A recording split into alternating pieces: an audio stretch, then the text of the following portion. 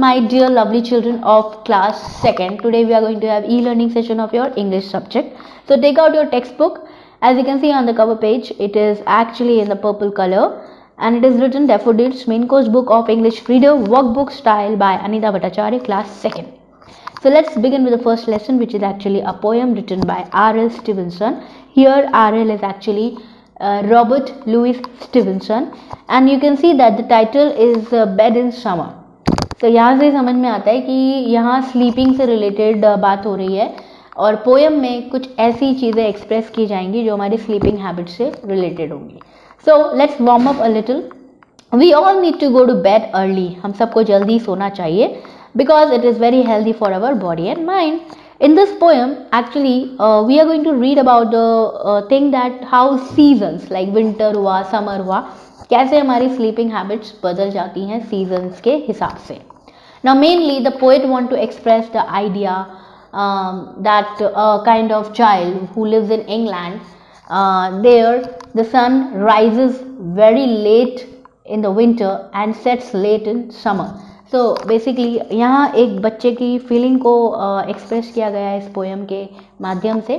So poet wants to express that कि बच्चा बहुत दुखी है कि उसको जल्दी उठना पड़ता है और जल्दी सोना पड़ता है, जो शायद आप जैसे बच्चे और तमाम दुनिया के बच्चे भी नहीं चाहते हैं, वो हमेशा अपनी मन मन मर्ज़ी से जीना चाहते हैं, अपनी मन मर्ज़ी से सोना चाहते हैं, खेलना चाहते हैं, कूदना चाहते हैं, उनको बंदिशें पसंद नहीं लेकिन डिसिप्लिन डिसिप्लिन होना बहुत ज़रूरी होता है हमारे जीवन में। अगर आप बच्चों को डिसिप्लिन में नहीं रखा गया तो आने वाले भविष्य में आप उस तरीके से तैयार नहीं हो पाएँगे जिस तरीके से आज आपके मॉम डैड या मम्मी पापा हैं। तो ये बहुत ज़रूरी है कि हम एक हम प्रॉपर अनुशासन में अपने जीवन को जिए। अब यहाँ पे अनुशासन में तो बच्चा है लेकिन उसकी दबी हुई जो फीलिंग्स हैं वो यहाँ पोएट बाहर एक्सप्रेस करने की कोशिश कर रहे हैं इस पोएम के माध्यम से। सो so, मेरे साथ बने रहें और लेट्स रीड विद मी मेरे साथ पढ़ने की कोशिश करें in winter read after me and you will actually get to know that on which line we are and I'll explain you. In winter, I get up at night and dress by the yellow candle light. In summer, quite the other way, I have to go to bed by day. Now, basically, in the first stanza, the poet wants to express that the boy who's sleeping in the picture, you can say the boy is actually on the bed. यहाँ आप देख सकते हैं एक picture है जहाँ पे एक बच्चा बेड पे लेटा हुआ है। अब यह पोइट बोल रहे हैं कि वो बहुत अनहैप्पी है क्योंकि उसे जल्दी उठना पड़ता है। वो भी ऐसे वक्त पे जब सनराइज़ होता भी नहीं है, बहुत अंधेरा होता है क्योंकि विंटर सीज़न में आपको भी पता है कि सुबह जल्दी नहीं होती है और ऐसा लगता है कि पूरा अंधेरा अंधेरा है। तो वो कहता है कि मुझे बहुत जल्दी उठना पड़ता है जबकि सनराइज़ भी नहीं हुआ होता है। और ही also on the contrary part वो ये भी कहता है कि समर सीज़न में भी मुझे जल्दी सोना पड़ता है पड़ता है एज अ रूटीन तो ये चीज़ें हैं जो शायद आप भी फॉलो करते हैं और कई बार हम बच्चे होने के नाते हमको फील होता है कि यार ये सारी चीज़ें कब तक हमें करनी है कहाँ तक करनी है? आप ऐसा फील करते हो कि कितनी आ, हमारे ऊपर रूल्स एंड रेगुलेशन की बंदिशें हैं जो आपको कभी कभी सैड कर देती कि हम आज़ादी से उठ सो खा पी खेल नहीं सकते हैं।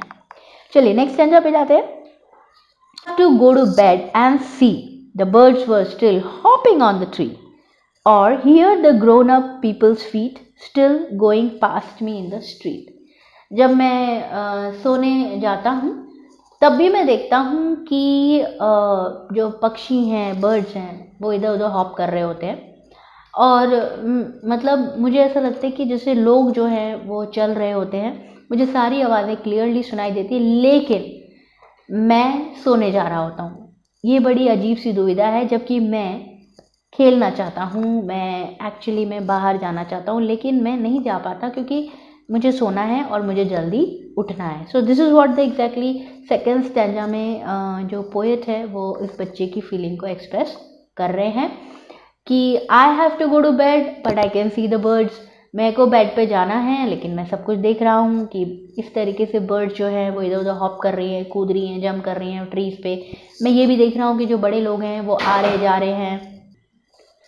Okay next stanza and does it not seem hard to you when all the sky is clear and blue and I should like so much to play to have to go to bed by day. Now, in the last stanza, he actually cleared by asking this question, which shows that he is very sad and it is very hard for him. उसके लिए बड़ा मुश्किल है bed में जाना क्योंकि वो देख सकता है कि आसमान पूरा क्लियर है पूरा ब्लू है। और फिर भी उसको सोने जाना पड़ रहा है जबकि वो इन्जॉय करना चाहता है नेचर के साथ अपने आप बेड पे जाने की बजाय वो खेलना कूदना चहकना चाहता है। लेकिन अब वो कर क्या सकता है? और वो कह रहा है कि जबकि ये तो डे टाइम है, अभी तो सनसेट हुआ भी नहीं है और मुझे सोने जाना पड़ रहा है। तो this is what the exactly the feeling of a child is always आपकी भी होगी, हर बच्चे की होती है कि यार इतनी बंदिशें क्यों हैं कि हमें जल्दी सोना पड़ता है, जल्दी उठना पड़ता है, हमको खेलने को नहीं मिलता है, हम जितना ज़्यादा खेलना चाहते हैं, हमें उतना खेलने को नहीं मिलता है। खेलने का जो एक लाइक एक मज़ा है, वो आपके इस बचपने में बहुत ज़्यादा आपको उत्सुकता से भर देता है।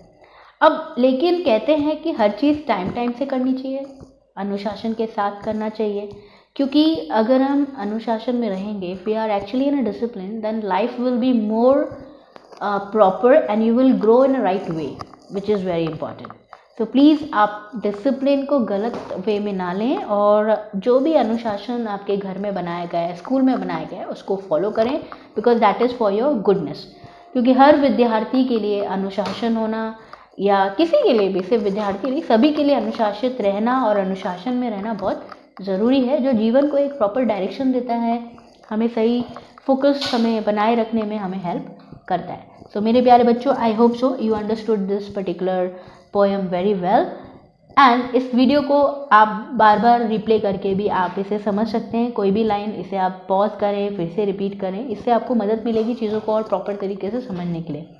So children if you have actually not yet subscribe this channel please ask your parents और you do it by your own if you know how do run channel आप प्लीज़ uh, सब्सक्राइब करें hit the bell icon so that you can get a notification of any new chapter updates for lesson explanation right तो मुस्कुराते रहो, हँसते रहो अच्छा अनुशासन अपने जीवन में बनाए रखिए और जीवन में आगे बढ़ते रहिए। Thank you so much